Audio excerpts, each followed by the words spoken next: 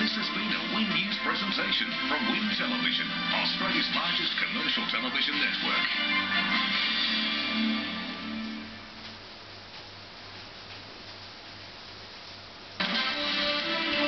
Radio star sidelined for drink driving as the Roar's Frank Farina says sorry. Heavy fog blamed for a truck tragedy and airport chaos. Investigation reveals the driver testing stations where no one fails. And bureaucrats pass the buck over savage birds. I mean, why think birds are more important than humans? This is Nine News with Andrew Lofthouse. Good evening.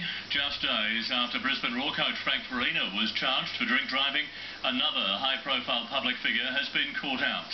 Popular Nova breakfast host Ashley Bradnam blew more than four times the limit, and he's admitted to a serious drinking problem.